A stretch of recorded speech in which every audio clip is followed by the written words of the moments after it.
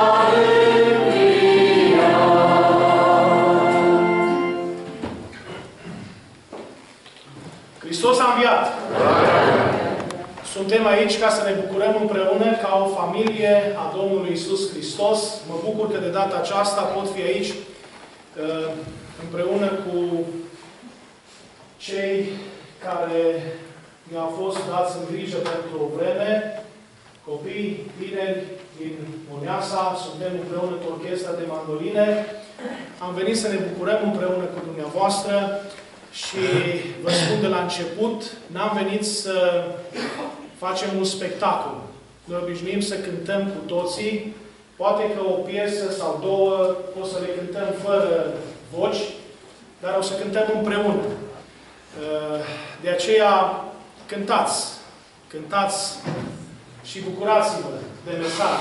Trebuie să ne bucurăm în casa Domnului, să ne bucurăm de Hristosul înviat, să-i cântăm Lui, pentru că El merită să fie slăvit.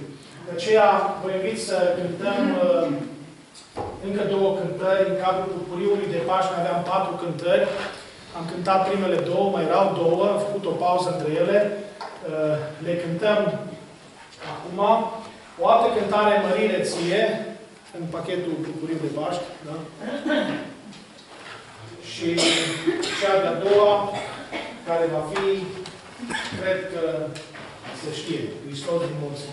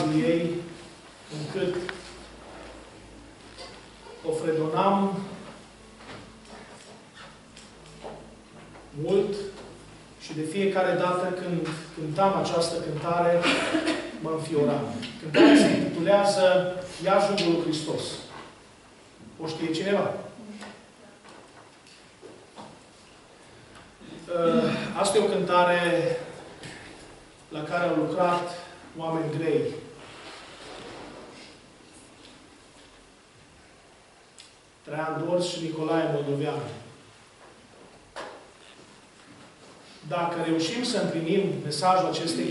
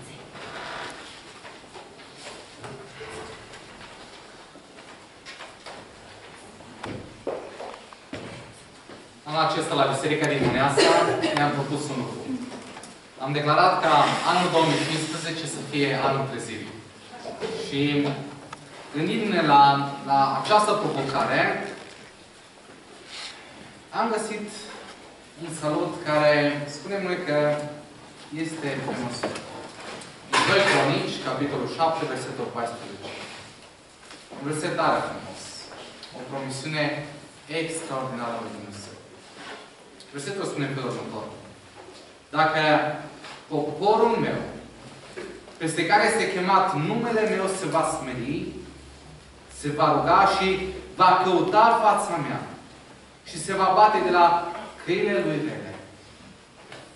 Îl voi asculta din ceruri, îi voi ierta păcatul și, și voi tămădui țara. Amin.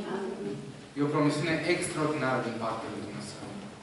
Noi vrem ca în anul 2015 să întâmple toate aceste lucruri pe care le promite Dumnezeu. Amin. Vrem pacea Lui, vrem iertarea Lui și vrem tămăduirea Lui. Amin. Amin. Lucrurile astea le dorim și dumneavoastră. Să le experimentați din plin. Amin. Amin. am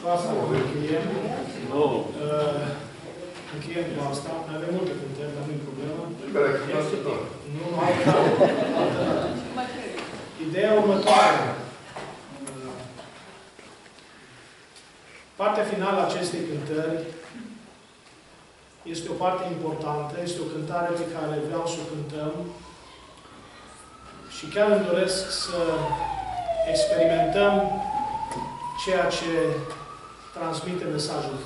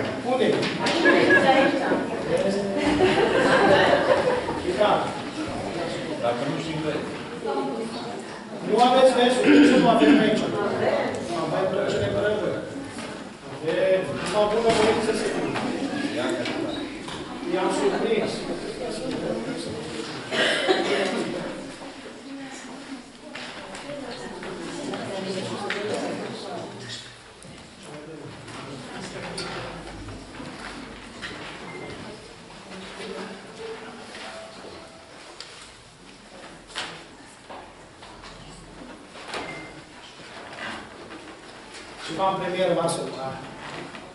Hai, da. Hai, te rog. Înveți acum. Deci dacă ei au răbdare cu tine, haide. Oricum se filmează toată slujba asta. Așa că o să vă dăm registrarea. Dacă ai zis. Dați microfonul.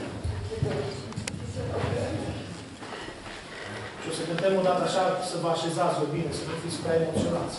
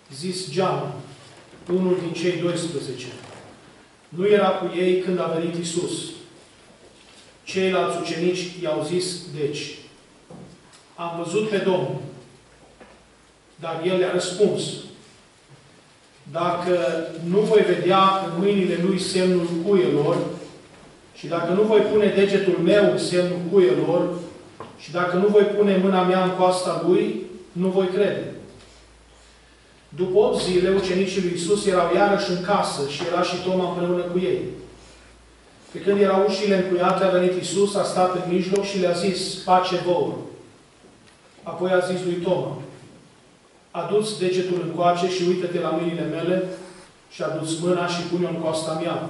Și nu fi necredincios, ci credincios. Drept răspuns, Toma i-a zis, Domnul meu și Dumnezeul meu. Tomul i-a zis Iisus, pentru că m-ai văzut, ai crezut. Ferice de cei ce n-au văzut și au crezut. Amin. Amin. Stăm înaintea Domnului și ne rugăm ca El să ne vorbească cu toți în gândul în Duhul nostru, iar cu glas tare, fratele Cristian Șubic. Doamne, Tată din cerul, venim în fața Ta și îți mulțumim, Doamne, pentru momentul de părtășie, îți mulțumim pentru prezența Ta aici, îți mulțumim pentru că suntem și avem parte încă de Harul Tău și suntem încă în Harul Tău. Te rog, Doamne, să legi Duhul Sfânt aici, să fie prezent, să ne aducă cuvântul care vine ca din partea Ta, Doamne. Pentru mesager să dai putere și cuvântul care îl propovăduiește să se înfiripe în inimile noastre. Mai mult de atât, Doamne, te rugăm să ne ajut să-l punem în aplicare, ca să nu fie în zadar, Doamne, să nu mergem de aici să ne fie o altă inimă, să fim schimbați. Și pentru toți cei ce aud cuvântul, să, să, să fie pe, pe calea Ta și să fie pentru ei, pentru bunăstarea lor, și să fie pentru a îndrepta în viață. Te rugăm, Doamne, să lucrezi. Te rugăm, Doamne, să-ți faci slavă în, numele, în, în locul acesta. Amin. Pentru toate te slăvim, îți dăm ție slavă, Tată, Fiu și Duh Sfânt. Amin. Amin. Preocupați lucruri.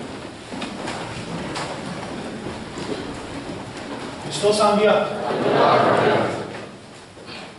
Credeți în învierea Domnului. Convins cu răspunsul ăsta. Trei aminuri. Este deosebit de important să credem în învierea Domnului Isus. Parcă în Duminica Tomii, la 8 zile după înviere, îl vedem pe Domnul Isus că face un efort în a-L convinge pe Toma, dar și pe ceilalți ucenici să creadă cu adevărat în El, în învierea sa. În general, obișnuim să ne referim la Toma ca la unul care nu a crezut. N-aș vrea să uităm pe ceilalți femei ucenici care în prima fază n-au crezut nici ei. Le-a fost greu să creadă. De aceea vedem pe Domnul Isus că își face timp, își face vreme să se ocupe de fiecare în parte. Ca fiecare să creadă cu adevărat că El a înviat. Dacă credința în învierea Domnului Isus n-ar fi fost atât de importantă, să știți că Domnul n-ar fi fost interesat să se arate în repetate rânduri ucenicilor și multor altora. Dacă citiți Cartea Faptele Apostolilor, veți descoperi că aceasta este deosebit de clară când afirmă că mesajul ucenicilor se concentra în jurul învierii Domnului Isus Hristos.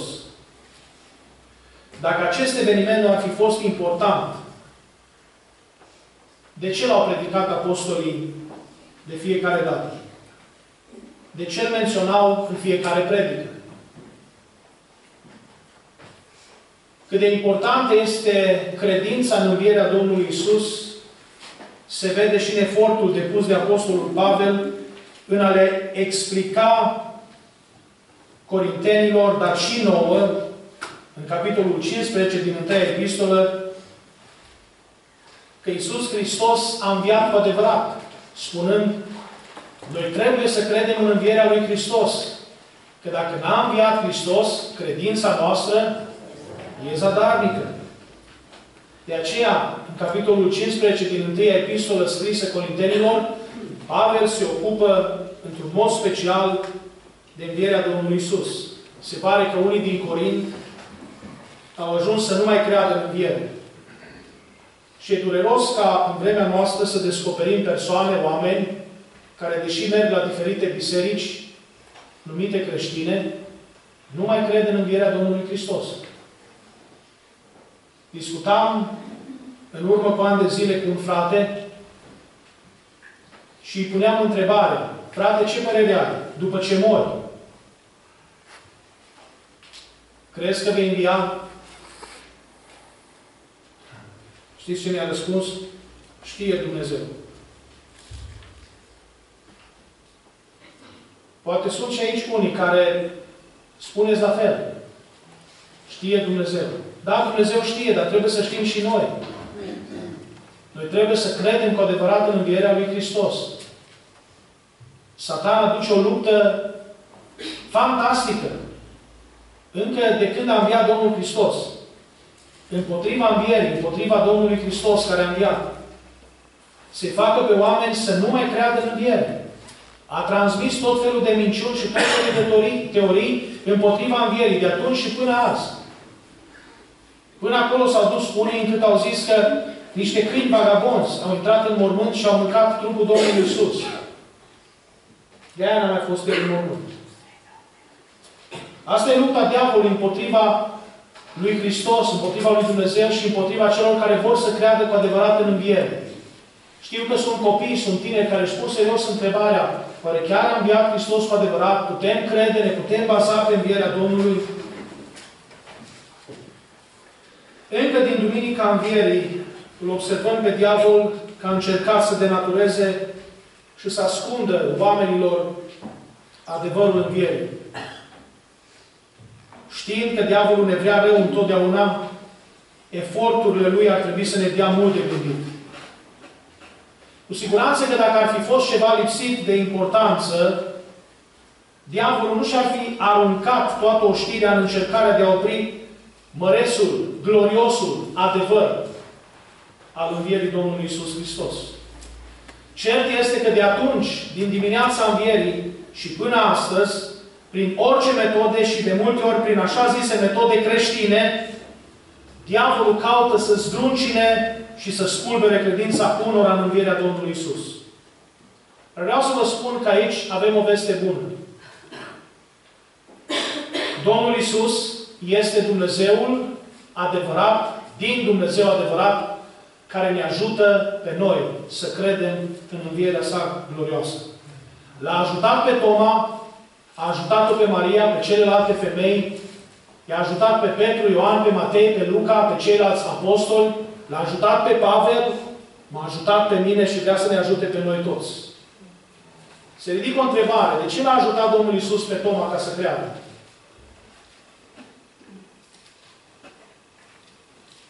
Și vreau să vă dau câteva posibile răspunsuri. Și acestea ne vor fi de mare folos. Fiți atenți! Domnul Isus l-a ajutat pe Toma ca să creadă, deoarece Toma era valoros. Cine vedea valoare în Toma? Ucenicii? Posibil.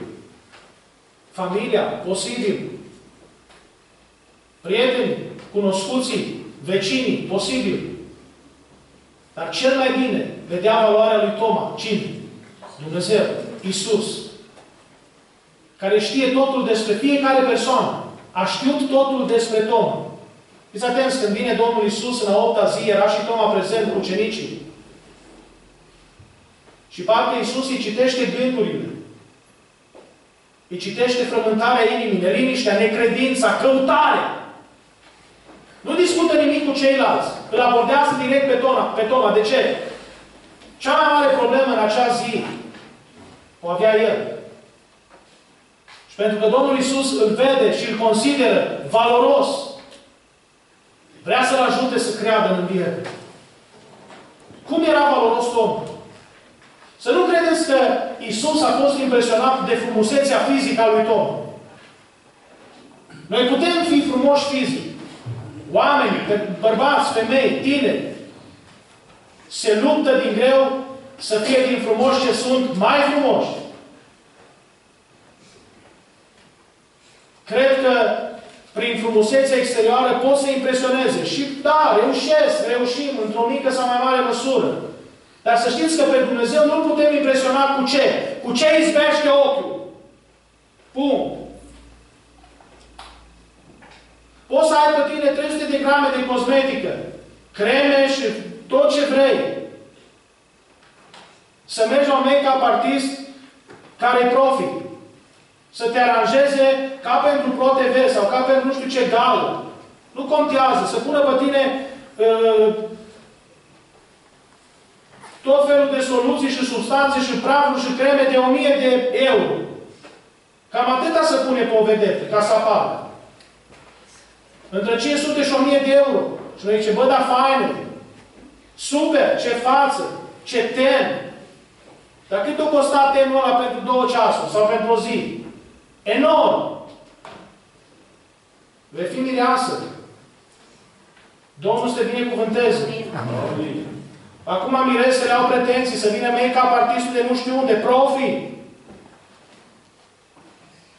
Poate din asta, pretenții din asta. Sper că nu. Că tu vei sta cu el după nuntă toată viața. Nunta trece.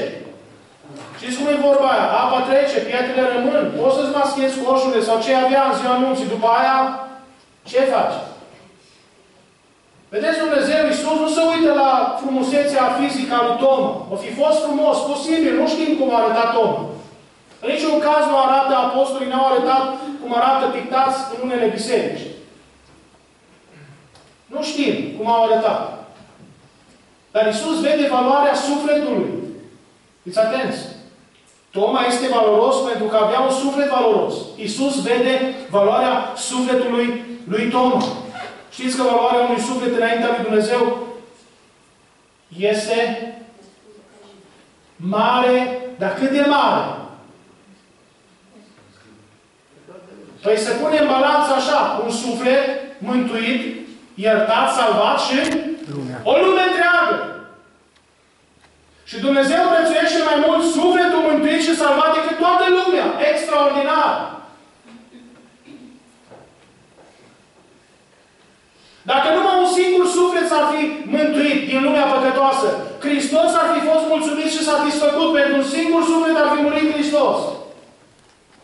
A murit pentru sufletul lui Tom, a murit pentru sufletul meu și pentru sufletul tău. A văzut Domnul frumusețea sufletelor noastre. Chiar dacă păcatul este cel care ne urățește, ne schimonosește. Cum i-a creat Dumnezeu pe oameni, protopărinții noștri, Adam și Eva. Închid de săvârșit, i-a îmbrăcat cu slavă. Au păcătuit și au pierdut slavă. De atunci, păcatul schimonosește oamenii. Și trupurile și sufletele lor. Dar cu toate acestea, Iisus vede valoarea în sufletul omului. Vede valoarea și cunoaște valoarea sufletului lui Tom. Tom era cel puțin la fel de valoros ca oricare altul. Pentru că avem suflet fiecare dintre noi. Trebuie să știm că suntem în atenția Domnului Isus Hristos. Suntem în atenția Lui pentru salvare. Vrea Isus ca noi toți să fim salvați, mici și mari. Mai mult decât atât, Domnul Isus îl iubea și pe Toma ca și pe ceilalți. Unii tind să creadă că Isus l-a iubit numai pe Ioan. Ucenicul iubirii. Că numai el și-a plecat capul pe umărul, pe pieptul Domnului Isus. Credeți că numai pe Ioan l-a iubit Domnul? Zice Biblia că a iubit pe Aisei și a iubit cum? Până la capăt. Dar nu numai pe unul, doi, pe toți. Dacă suntem în ai Domnului, suntem ai Lui, El ne iubește și pe noi ca pe Toma, ca și pe Matei, ca pe toți ceilalți. Îți iubește Hristos sufletul tău, tinere, copile. Sufletul tău are mare preț, mare valoare pentru Isus Hristos. De aceea Domnul Isus Hristos a venit din cer ca să ne caute și să ne mântuiască pe noi pierduți. Ca noi să putem fi salvați. Ca sufletele noastre să poată trăi veșnic împreună cu Dumnezeu. De asemenea, Toma era valoros nu doar ca suflet, era valoros și ca ucenic. Noi știm să clasificăm foarte ușor oameni. Ne uităm la ei și fără să-i auzim vorbind, fără să știm ce pot, imediat le punem etichete. Bun, nu-i bun, e valoros, nu-i valoros, merită, nu merită. Să fac tot felul de selecții. Să știți că Isus vede valoare în fiecare ucenic. a văzut valoare până și în Iuda. I-a dat har lui Iuda să pocăiască, dar Iuda n-a primit harul. Putea Iuda să scape, să fie iertat. Și Petru s-a lepădat. Și s-a pocăit. Și ce lucrare a făcut Dumnezeu prin el, nu așa? Știi că ești valoros ca și credincios în trupul Domnului, pentru Domnul? Tindem să credem că numai cei de pe podium sunt valoroși. Oare? Oare? Numai păstorul care aici în față după, după amvon. Numai el să fie valoros în biserică. Numai dirijorul, numai orchestranții, numai coriștii, numai cei din comitet. Și s-a lăsat o grea de cer. Hai să vă spun ceva. Sper să fiți încurajați. Voi toți, ca întreg, dar și în mod individual, fiecare sunteți valoroși pentru Isus. Toți care sunteți membri în această biserică. Isus vă iubește. Vede Isus valoare în voi, în fiecare, ca nimeni altul. Ieri am înmormântat o soră de 88 de ani. Fiți atenți. 88 de ani. Frumoasă vârstă. O credincioasă. Am simțit că se rupe ceva din mine când am fost sunat și mi s-a spus că am murit. Prezentă la biserică, rugativă, credincioasă în toate privințele. A trăit o credință exemplară. Dar să știți că femeia aceasta a lăsat în urma ei o mărturie binecuvântată. Ea niciodată n-a ieșit în față să spună o poezie sau să cânte o cântare. Dar ea a știut că Dumnezeu o iubește și că este prețioasă înainte Dumnezeu. Și a făcut femeia aia pentru familia ei puțin reușit să facă. I-a purtat în rugăciunile ei cu lacrimi fierbinți până aproape în ultimele ei clipe de viață. E extraordinar.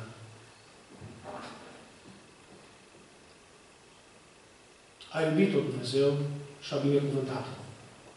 Chiar dacă mare parte din familia ei nu s-au întors încă la Domnul, ea a mijlocit înaintea Domnului. A fost o femeie simplă, dar a știut care locul ei în atenția Domnului. A știut că este prețioasă pentru ea. Și a știut că este prețioasă și pentru noi. Nu contează că stai pe ultima bancă sau la jumătatea casei Domnului, a patra sau a cincea bancă, nu contează. Trebuie să știi că ești prețios, ești prețioasă pentru Isus. Indiferent de vârsta pe care o ai. Indiferent de talentele pe care le ai.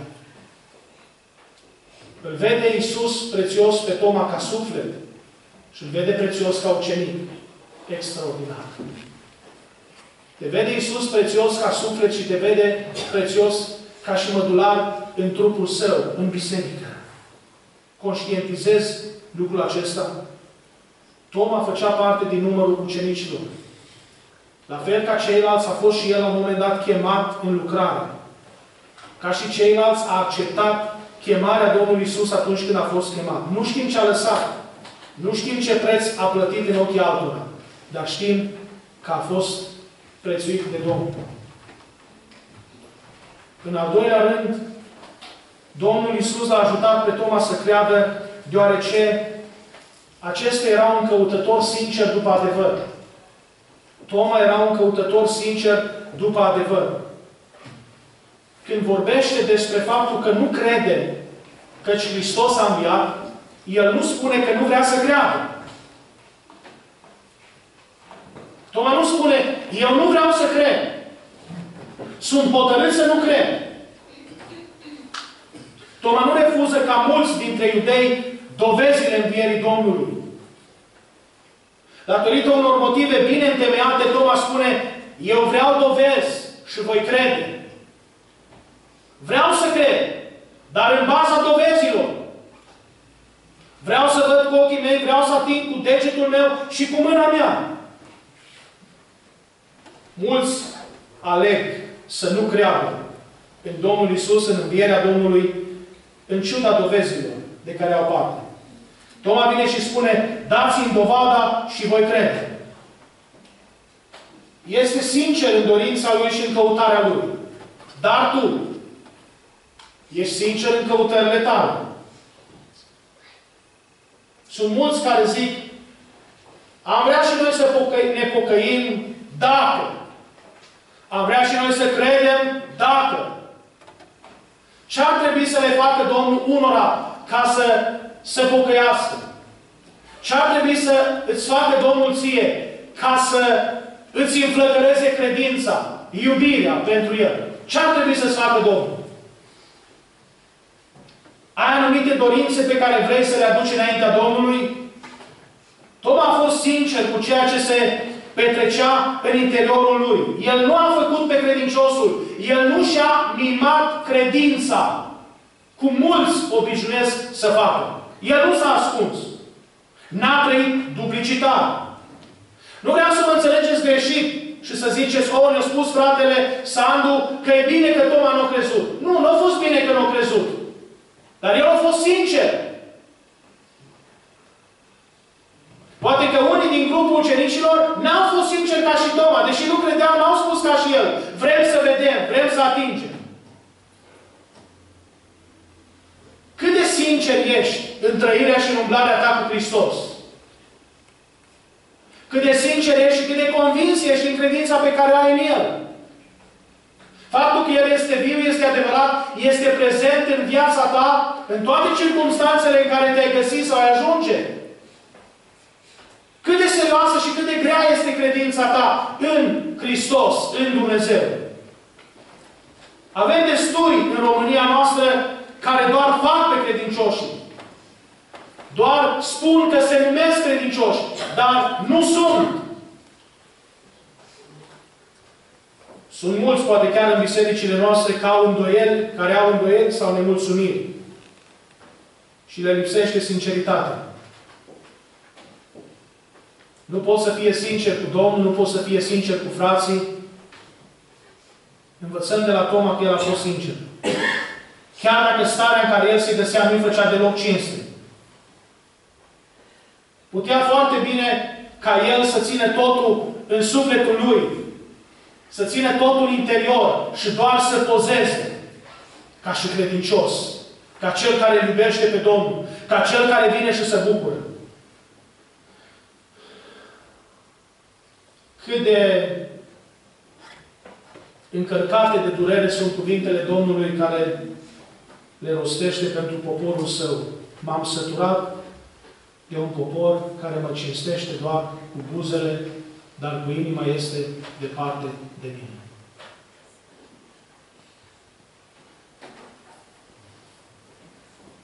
Vremurile pe care le trăim, să știți că sunt vremuri grele și vor fi și mai grele. Parcă e tot mai greu să fii un credincios autentic. Să păstrezi curată haina.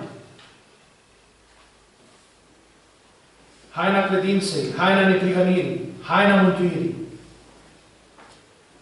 Parcă ispitele se înmulțesc, încercările de asemenea, necazurile, bolile, suferințele, tot felul de evenimente nefericite, unele chiar tragice. Și parcă multora le vine tot mai greu să trăiască atașați 100% de Domnul, să fie sinceri în trăirea și în umblarea lor cu Hristos. Dar dacă dorește ceva Iisus de la noi, asta dorește. Să fim sinceri, să fim transparenți. Așa cum suntem duminica în casa Domnului când cântăm și ne rugăm și ascultăm predica, să fim și lunea și marțea și miercurea și în toate zilele săptămânii. Așa cum suntem la biserică, să fim și la școală, să fim și la serviciu, să fim și când gătim, și când muncim în curte și facem tot felul de lucruri, și când mergem pe stradă. Să fim aceiași oameni, aceiași credincioși, plini de râvnă pentru El, pentru Dumnezeul oștirilor, pentru Hristosul înviat. Toma nu pozează într-un creștin, într-un credincios de duminică, de conjunctură. El spune ceea ce simte. Și Isus îl apreciază pentru asta. Să știți că Isus nu apreciază pe cei care uh, gândesc una și fac alta și spun altceva. Nu. El ne cercetează până și rărunchii. Știe totul despre noi, ne cunoaște gândurile, simțirile, ne judecă inima, pornirile. N-ai cum să te ascunzi de El. S-a săturat Dumnezeu de oameni în poporul Său care să nu fie sinceri și să nu fie dedicați întru totul pentru El. Care să trăiască duplicitate.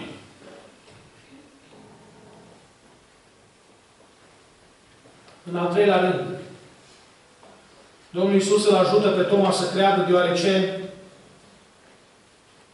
în Toma Domnul Iisus investise mult. Când investești în cineva sau în ceva, îți pasă. Eu nu pot să înțeleg cum unii după 30 de ani de căsnicie renunță la căsnicie, renunță la soție sau la soț. Vă vine să credeți. Alții la 40 de ani. După ce ai investit atât, să renunți la toate investiția. Nu-i nici logic. N-ai cum să înțelegi așa ceva. Când se uită Domnul Iisus la ucenici, îi vede ca pe niște oameni în care a investit timp, energie, învățătură, tot ce vreți, putere. Nu vrea să piardă pe nimeni, pe niciunul. De aceea Domnul Iisus îl ajută pe Toma să creadă. Pentru că Domnul avea planuri mari pentru el. Nu-și permitea Domnul să-l piardă pe Toma. Nici măcar nu voia să îl piardă. Toma era un ucenic al cărui atașament față de Domnul nu depindea de circunstanțe. Toma știa că iudeii ar putea să-l omoare, dar a vrut să meargă și să moară împreună cu el la un moment dat. Haideți să mergem să murim și noi cu el, spune Toma. Toma nu era legat de ce oferă Domnul, era legat de ceea ce este Domnul. Tu de ce ești legat de Hristos? Vin unii la biserică, cer botezul. De ce? Vreau să mă însor. Te legi de Hristos. Pentru asta. Vreau să mă mărit. Pentru asta. Am o boală în trupul meu. Dacă mă boteza, poate mă vindeca Domnul. De asta te legi de Hristos. Vin și eu să mă botez, că poate afacerile mele s-o duce cu un drum bun. Că până acum numai rău s-o dus. Vin la Domnul Isus și mă leg de El și mă dau Lui. Că oi fi mai sănătos și mai bogat. Vedeți Evanghelia asta și teologia prosperității. Dacă crezi în Hristos, îl urmezi pe Hristos, o să fii sănătos tun și putre de bogat. Bine ar fi. Bine ar fi, dar nu așa.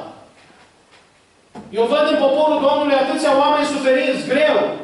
Ne rugăm în fiecare duminică la Mâneasa pentru o listă lungă. Cazuri grave. Aproape în fiecare săptămână primesc telefoane și mesaje, rogă-te. Am depistat un cancer în faza 3, în faza 4, în faza 2. Mamă de la doi copii mici. Tată, în puterea vârstei și așa mai departe. Cazuri grave. Rugați-vă pentru noi. Poți să urmezi pe Hristos și să mor de tânăr, nicio problemă. Hristos nu-ți garantează o viață fără boală și fără probleme. Știți că avem noi cântare, n-a promis doar cerul senin miștor pe cale fără pelin. N-a promis soare fără de nori, nici nici bucurie fără nevoie, așa e. Să le spui unor tineri că viața lor va fi numai roză și vor călca numai pe petale trandafiri după ce se căsătoresc. N-ar fi o niciună. E trebuie să știe adevărul. Vin încercări, vin nori, vin valuri, vin furtuni. Dar dacă sunt sădiți în Hristos și rădăcinați în El, vine furtuna, vine ploaia, vin și boile, dar casa rămâne zidită pe stâncă. Glorie Domnului! Trebuie să ne atașăm de Hristos, să ne legăm de El, dar nu din motive egoiste. Toma nu s-a legat într-un mod egoist de Hristos. De aceea Domnul Isus îl iubește. Și Domnul Isus vrea să-și protejeze investiția.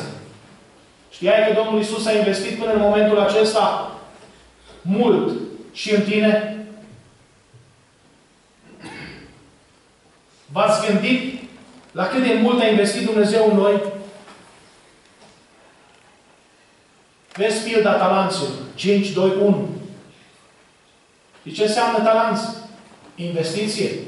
Unuia 5, altuia 2, altuia 1. Se pare că Domnul mie mi-a dat mulți. N-am cum să îngrop. Că vine stăpânul și îmi cere socoteală. Am cântat destul să mai cânte alții. Vine paralizia. Nu mai poate cânta. O, ce n-aș da să mai pot cânta. Dar de ce ai cântat când ai putut? De ce nu te-ai rugat când ai putut să te rogi? Acum că nu mai poți, vrei să te rogi. De ce nu vii la părtășie la casa Domnului când ai putut? Acum când ai ajuns într-un scaun cu rotire, acum vrei? De ce n-ai dăruit bani când ai avut de unde să dai? Când ai ajuns la fundul pungii, atunci vrei să dai? De unde să mai dai? Dacă n-ai de unde. Nu vrea Dumnezeu să aibă ucenici de circunstanță care să-L urmeze din motive egoiste. Doar ca să câștige ceva. Toma l-a urmat pe Domnul și a fost un ucenic care s-a atașat de el necondiționat. Nu pentru ce a oferit Hristos, ci pentru ceea ce era Hristos. Ai venit la Hristos, te-ai dat lui și l-ai urmat pe El. De ce? Pentru ceea ce ar putea să-ți dea sau pentru ceea ce El este pentru tine.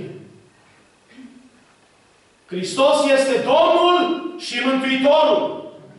Asta trebuie să fie suficient pentru noi ca să credem în El și să urmăm pe El. Amin. E suficient. N-avem nevoie de mai mult. Dacă îngăduie să fim bolnavi, să murim la 40 de ani de cancer, nicio problemă. Unde ne ducem? Sus pe plaiurile cerului. Ce pierzi? Nimic. Pierzi 40 de ani, trăiți în suspine și în plâns și în dureri pentru o veșnicie în care să fii cu Dumnezeu în lumină, în binecuvântare. N-ai ce pierde. Nu trebuie să ne pare rău de nimic de ce am lăsat în urma noastră. Că ce ne așteaptă dincolo e glorios și veșnic, etern. A investit Domnul mult în tine. Și pentru asta nu vrea să te piardă. Cu unii din locul ăsta Domnul are planuri mari. Dar Domnul nu poate să facă, nu că nu poate, nu vrea să facă nimic peste voința noastră.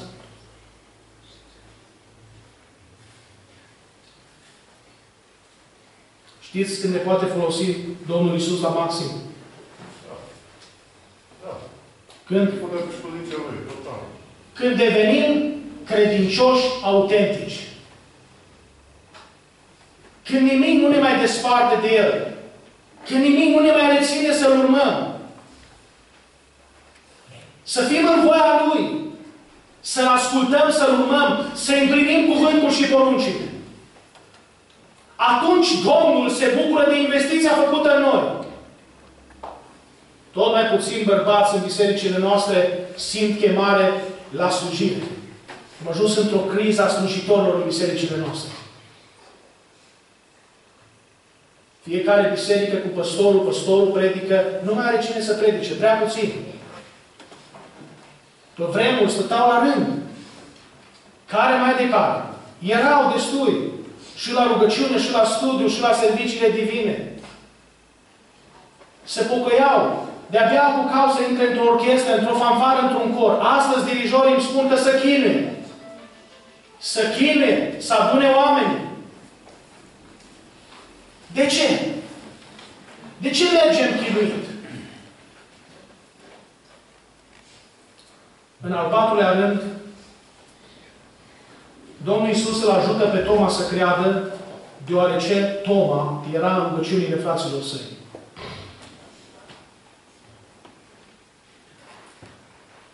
Apreciez mult faptul că ucenicii nu l-au exclus pe Toma. Au înțeles circumstanțele, probabil și-au reamintit că și ei au trecut prin aceeași experiență, de aceea au rămas alături de el. Ce ne împiedică pe noi să credem că ei s-au rugat împreună ca Domnul să-i se descopere și lui Toma? Au avut răbdare și l-au considerat pe Toma ca pe unul de-a lor și l-au lăsat să participe la adunările lor și să umble cu ei. Cred că s-au rugat pentru problema lui. Ce s-ar fi întâmplat cu Toma dacă frații l-ar fi brutalizat, cicălit, descurajat, ridiculizat, condamnat, dacă l-ar fi scos afară din mijlocul lor? Ce s-ar fi întâmplat cu el? Ar fi ajuns pierdut, cu siguranță. Mai că atitudinea fraților lui a fost una de înțelegere și de dragoste. Credința în înviere nu era un lucru ușor în acea zi și în acea perioadă. Nu a fost nici pentru ei ușor să creadă.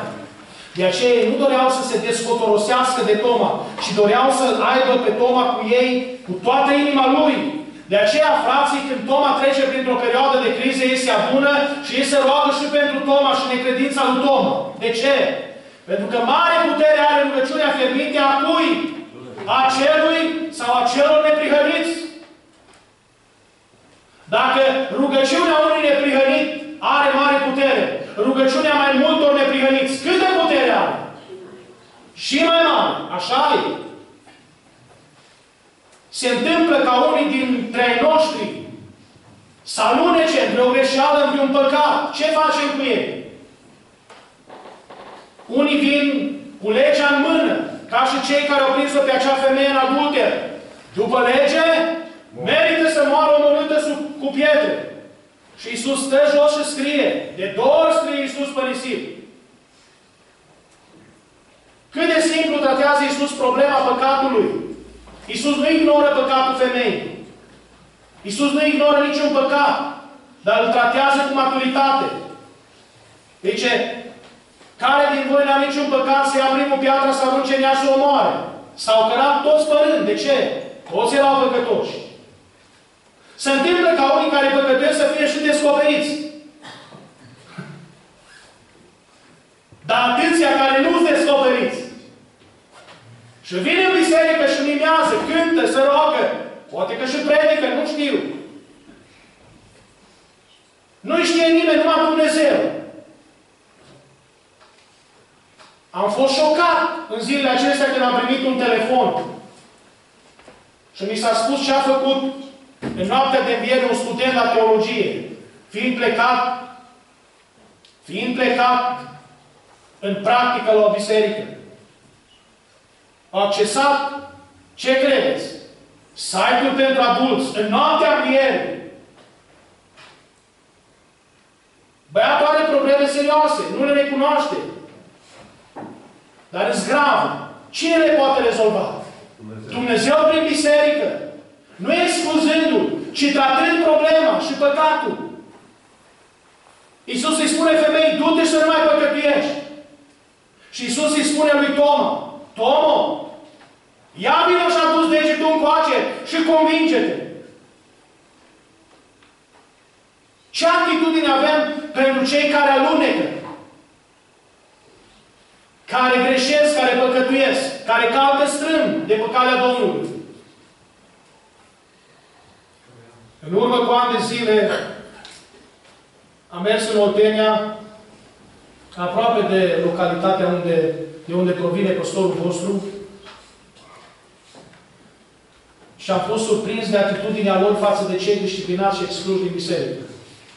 Dacă la noi obicei era să fie puși pe ultima bancă, la ei se puneau pe prima bancă.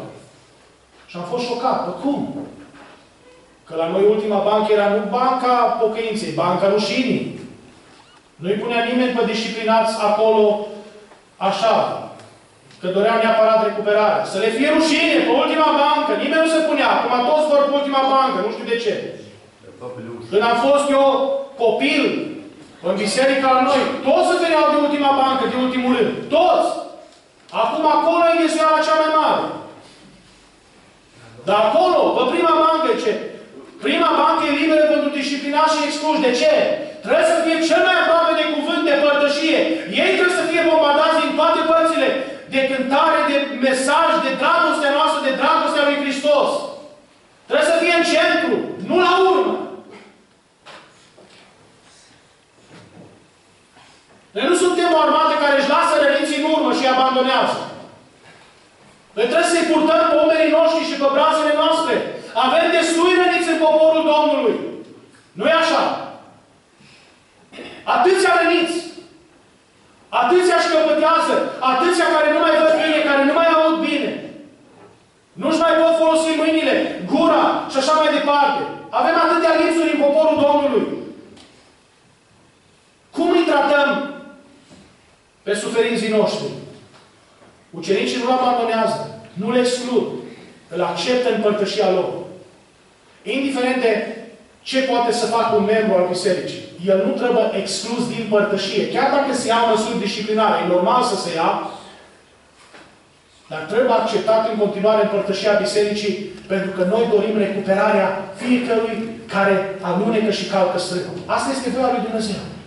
Iisus n-a dorit să-l piardă pe Toma și nici colegii lui n-au vrut.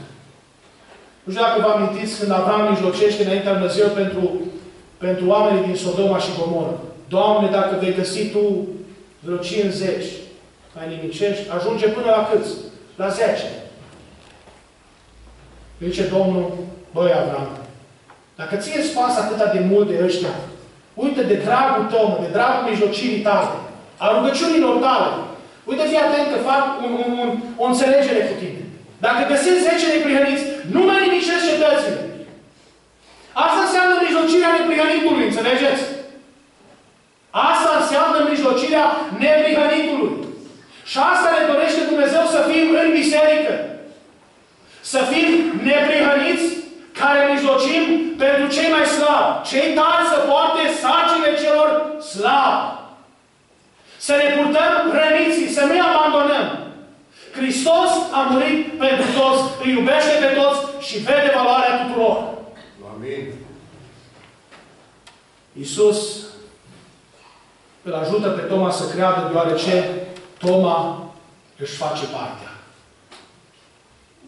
Toma își face partea.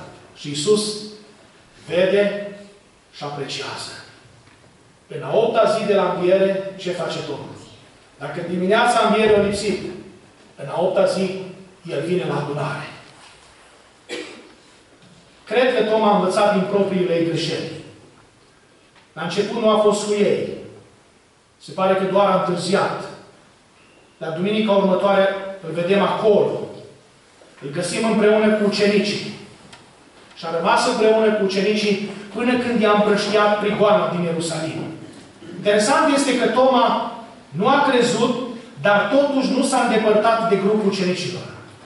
Probabil Toma a știut că Domnul îi caută pe ucenici și de aceea a rămas permanent în grupul ucenicilor. Îmi place să cred că Toma nu a acceptat nicio responsabilitate în afara grupului. Probabil Toma a spus, M-aș duce cu drag, dar ce mă fac dacă, în timp ce eu voi fi plecat, Domnul va decide să revină și iarăși nu-L nu voi vedea, nu-L voi întâlni. De aceea Domnul onorează lucrul acesta. Și vreau să vă spun că adunarea ucenicilor din a opta zi nu era o adunare mare. Nu era nicio adunare bine organizată. Nu era nicio adunare care să aibă vechime istorică. 100, 200, 500, 1000, 2000 de ani. Nu. Era o turmă mică. Erau doar câțiva. Nu era o adunare de oameni perfecți. Și nici nu aveau un program deosebit. N-aveau cântările aranjate, n-aveau cor, n-aveau orchestră, n-aveau fanfare, n-aveau cântăreți, n-aveau predicatori desemnați, pur și simplu stăteau împreună. Ce făceau? Cântau ce știau să cânte și să rugau. Și printre cântări și rugăciuni mai și tremurau de frică. Dacă era o adunare de oameni credincioși, Toma cunoștea adunarea aceasta cu părțile ei bune și mai puțin bune. De aceea Toma vine la adunare. El vine la adunare la timp, vine cu sufletul deschis și vine cu dorința să-L întâlnească pe Isus. Și cu speranța că Domnul Isus va veni din nou. Când vii la adunare, pentru ce vii? De ce vii la casa Domnului? Câteodată s-ar putea să-ți lipsească cheful. Le spun și pruncilor mei. Când aveți chef să veniți la casa Domnului, atunci trebuie să veniți mai curând. Noi la casa Domnului venim după chef. Cine a predicat? Pleca păstorul. N-are rost să mă duc. Cine știe cine a venit, cine a predicat? Că mie îmi place numai de păstorul meu. Le-a spus și la ei mei la mâneasa. Ce dacă nu sunt eu și predic? Dacă nu are cine predica, care e problema? Nu mai știți să cântați, să vă rugați? Nu mai știți? Dacă nu avem cor, dacă nu avem grupul de închinare, nu mai știm să ne închinăm, ce facem? Cât de mult m-a durut când am auzit pe o biserică de câteva zeci de membri s-au adunat într-o duminică dimineața și pur și simplu n-a fost niciun bărbat care să poată să meargă la ambon să țină o slujbă. Știți ce au făcut? Au stat vreo jumătate de oră, nu au făcut nimic și s-au dus acasă. M-a înțepat la inimă când am auzit treaba asta. Și am zis, băi, dar voi, chiar în halul ăsta s-a ajuns. Să nu aveți înțelepciune să deschideți Cartea Sfântă, să citiți cinci psalmi și să cântați cinci cântări și să vă rugați de trei ori, de patru ori. Nu mai știți face asta. Dacă nu e unul în față să vă îndemne. Unde e Duhul Sfânt? Unde am ajuns? Mulți nu mai vin la adunare pentru că nu le place cum se desfășoară programul. Ce se întâmplă? Cât e predica, cum sunt cântările. În unele biserici se cântă prea tare. În altele ce se cântă prea încet. În unele numai închinare contemporană. În altele închinare numai tradițională. Ce ar trebui să facă Dumnezeu ca să-i mulțumească pe toți, vă întreb? Că la început nu aveau nici corul, nici chitare, nici pian electronic, n-aveau nici instrumente de suflat, nici cu coarde, n-aveau, să aveau doar pe ei, dar erau cu bucurie. Noi nu suntem o adunare perfectă, nici la Mâneasă, nici aici la Eneu. Să nu credeți că sunteți perfecți. Avem imperfecțiunile noastre și avem părțile noastre tari. Și noi le știm. Dar important este că Isus vine la noi. Și dacă cineva vine cu îndoială și vine cu probleme, cu boală, aici îl întâlnește pe Isus. Toma, în adunare, l-a întâlnit pe Hristosul înviat. De aceea locul pocăitului și a pocăitei, a copilului de pocăit și a tânărului, îi în casa Domnului, indiferent dacă are chef sau nu are chef. Numai dacă ai o problemă de handicap fizic și nu te poți deplasa, să stai acasă, în rest, n-ai voie să lipsești. Într-o zi, dragii mei, vom sta înaintea Domnului a Hristosului înviat și vor sta lângă noi martirii din secolul 21, care îmbracă haina roșie și sunt sacrificați în numele cui? În numele religiei. Și vom sta lângă ei. Și noi, și atâția indiferenți, la care nu le-a pus nimeni pistolul la tâmplă și cuțitul la gât. Ce vom spune atunci? Cântarea pe care am cântat-o azi, Ia jugul lui Hristos, v-a transmis un mesaj? Nu haina ce ai purtat-o îl va impresiona pe Hristos. Cum să mă duc la biserică de Paște? Că n-am haine noi. Dar îl interesează pe Iisus hainele noi? S-a uitat Iisus în dimineața învierii și peste 8 zile la ținutele ucenicilor, la ținuta femeilor. Nici de cum. Nu. Să uită Iisus la inimile noastre, la inima mea și la inima ta. Ne va judeca Hristos nu după hainele care le-am purtat, ci după sarcina care am purtat-o. Vă mai vorbește cântarea pe care o cântam? Merge voi cu mâna goală înaintea Domnului, suflete! Nu-i pot aduce niciun singur znon măcar? Mai cântă pocăiții cântarea cu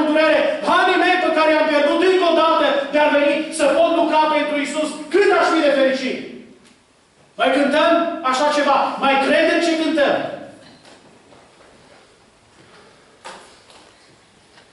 Tomaș face parte.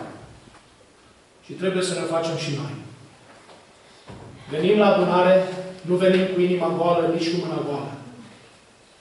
Venim cu ceva și ar trebui să ne intereseze să venim și cu cineva.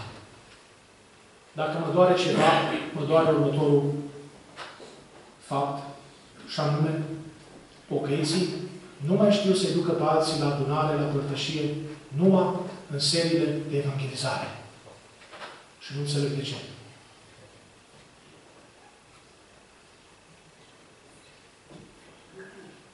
Ar trebui să stăm liniștiți că avem atâtea locuri goale.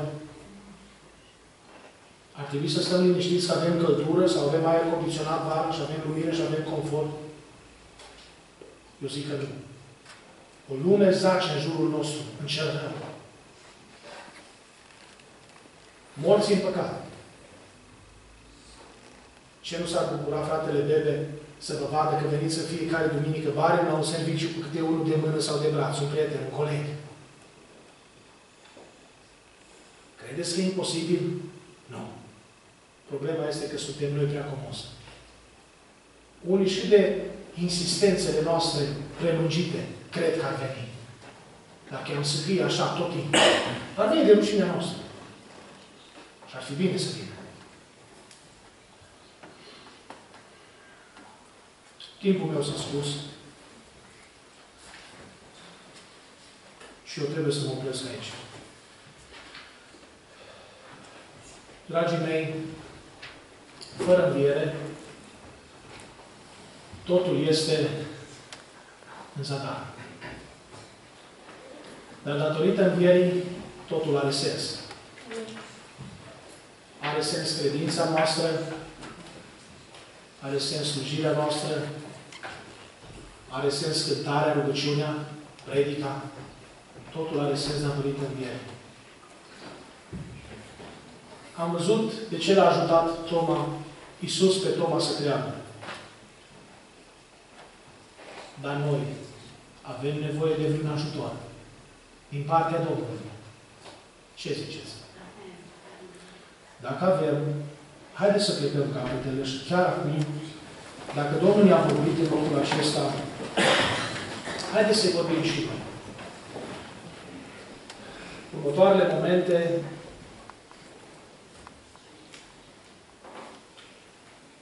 Bianca, poți să cânti ceva, dacă vrei. Mulțumesc. Următoarele momente sunt momentele în care noi vorbim lui Dumnezeu.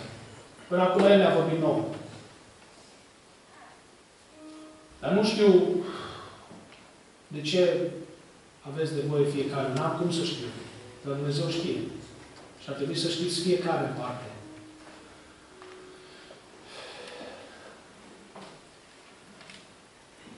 Ați venit azi aici și bine ați făcut. E bine că n-ați rămas acasă.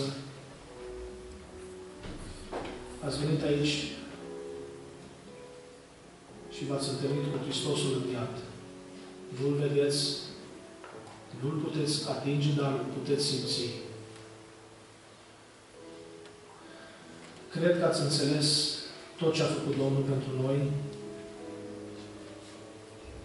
și cred că ați înțeles că fiecare dintre noi suntem prețioși pentru Domnul. El vede, El știe, cunoaște valoarea noastră.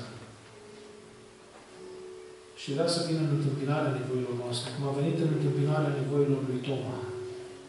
Și pe acesta, din necredincios, l-a transformat în credincios. Numai Iisus poate face asta. Ce fericire de Domnul Iisus la final, spunând, ferice de cei ce n-au văzut ce au crezut. Nu putem vedea și noi credem. Suntem fericiți și binecuvântați.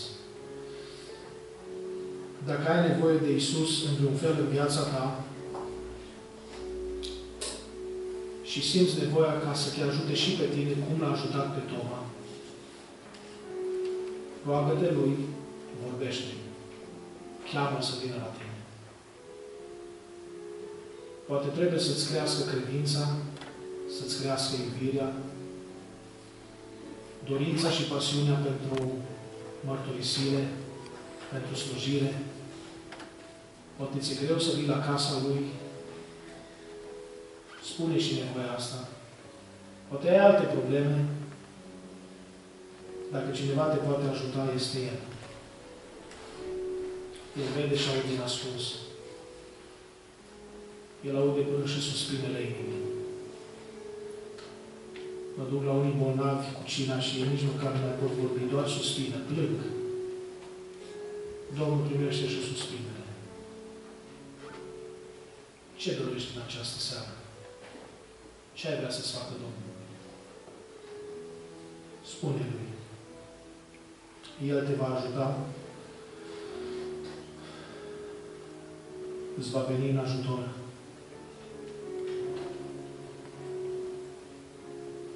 Și va desăvârși lucrarea începută în tine.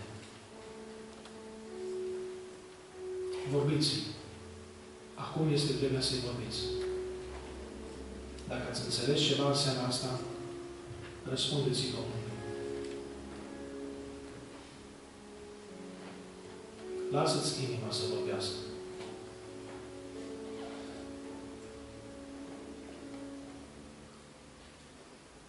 El este aici pentru noi. Pentru că ne iubește.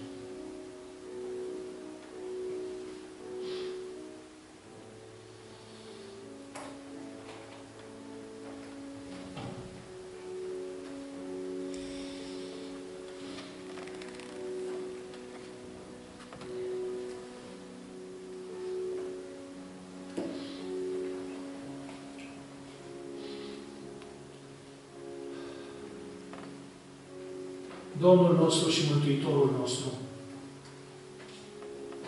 Tu ești aici pentru noi, pentru că ne iubești. Pentru că vezi valoarea noastră, vezi valoarea noastră ca suflete, vezi valoarea noastră ca ucenicii tăi. Ești aici pentru că îți pasă de investiția făcută în noi, și noi suntem aici pentru că te iubim și ne pasă de tine și de investiția făcută în noi.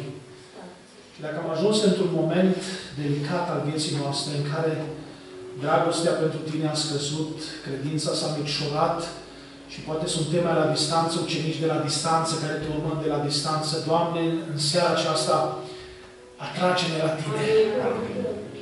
Doamne, atrage-ne la Tine să fim aproape de Tine, aproape de inima Ta să fim plini de foc, plini de pasiune pentru Tine.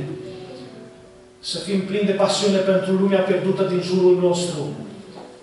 Să ne facem partea, cum și-a făcut-o Toma.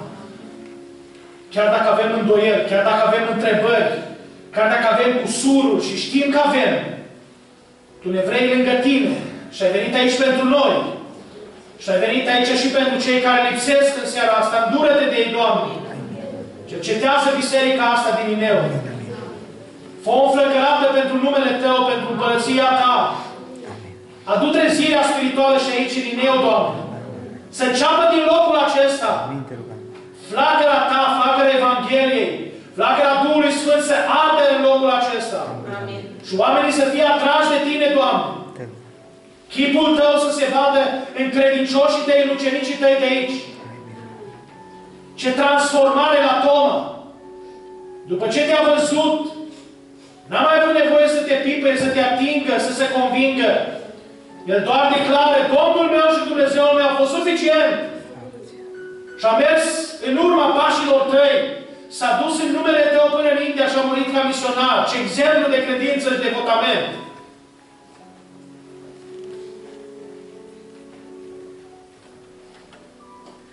Vrem să te urmăm necondiționat. Ajută. Nu din motive egoiste.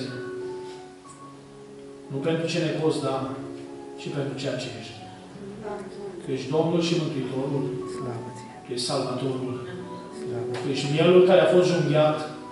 Că ești leul din seminția lui Iuda. Ești împăratul împăraților și Domnul domnilor. Pentru asta te urmăm. Pentru asta vrem să te iubim. Ajută. De aceea te înălțăm în noi. Crește aici. Crește-ne iubirea, Doamne. Crește-ne iubirea. Bine, Doamne. Crește-ne devotamentul. Hai bine, Doamne. Mărește-ne credința. Amin. Și ajută-ne să trăim vieți sfinte, de calitate. Amin. Mă rog să binecuvântez biserica asta în tot cuprinsul ei. Amin.